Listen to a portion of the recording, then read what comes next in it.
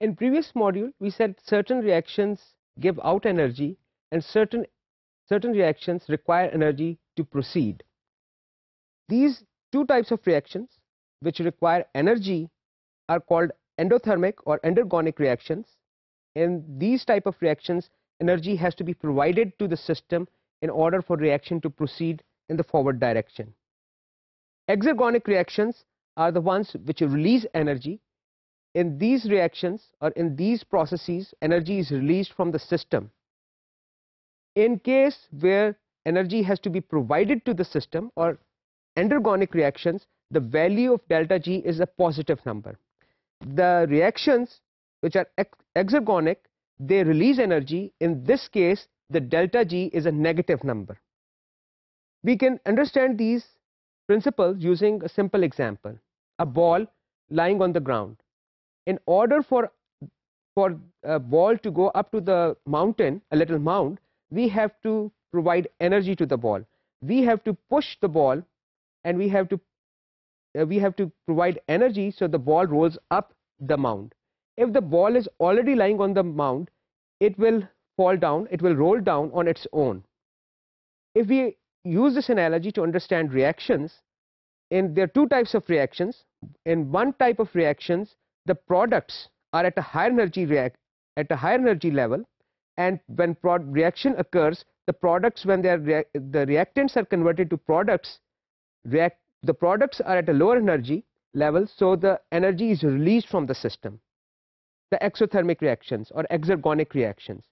In the other case, endothermic or endergonic reactions, the products are at a lower energy level and the react the, the reactants are at lower energy level and products are at a higher energy level. We have to provide energy to the products so they become reactants. In biology, these processes are reactions are not always one-sided. If a product, if a reactant can become product, the product can also become the reactant. So these are reversible reactions. Let's look at a hypothetical example. A is A is converting into B. B can also convert to A. Here the this process is exergonic. It is releasing energy. In this case, the A is being converted into B how much A gets converted into B and how much B gets converted to, into A, this is a function of delta G, free energy. At equilibrium, at point in which concentration of A and concentration of B is constant, the amount or the number of A molecules or A atoms are which are converting into B atoms is the same as the B atoms getting converted into A, at A atoms or A molecules. So the total number of molecules at equilibrium does not change. In our case, at equilibrium, there's 30% of the molecules in our system are A and 70% of the molecules are B. So conversion of A into B is, is, a, is a reaction which is exothermic it has a delta minus delta G, the value of delta G is in a minus number because energy is being released that is why A is a smaller has a smaller amount in our reaction tube as com as compared with the B molecule. This is a process in which both reactants and products can interconvert. Let's look at actual example of this.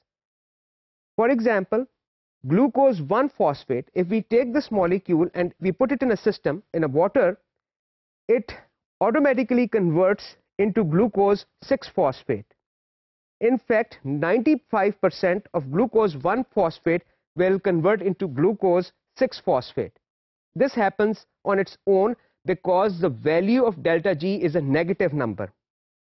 What determines that how many molecules of glucose 1 phosphate get converted into glucose 6 phosphate? It is the value of delta G. If the delta G is a larger number most of the reactants will be converted into products.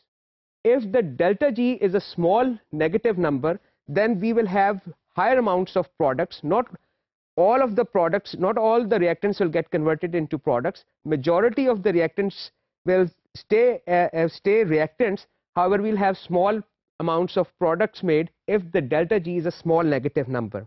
And if a delta G is positive number, A will not convert into or glucose 1-phosphate will not convert into glucose 6-phosphate unless and until we provide energy to the system.